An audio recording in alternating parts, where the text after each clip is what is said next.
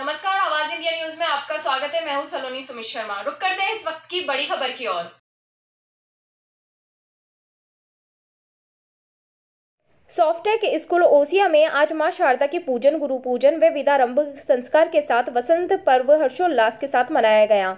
इस अवसर पर विद्यालय में नव प्रेक्षित विद्यार्थियों को पूजन के साथ प्रवेश दिया गया। बच्चों के अभिभावकों के साथ गुरु द्वारा ओम लिखवाकर व गायत्री मंत्र बुलवाकर बच्चों द्वारा शिक्षिकाओं को पूजन किया गया। इस मौके पर विद्यार्थियों द्वारा मंचीय कार्यक्रम की प्रस्तुति भी दी गई तथा नाटिका द्वारा ये समझाने का प्रयास भी किया गया कि किस प्रकार बच्चे कोरोना को भगा सकते हैं।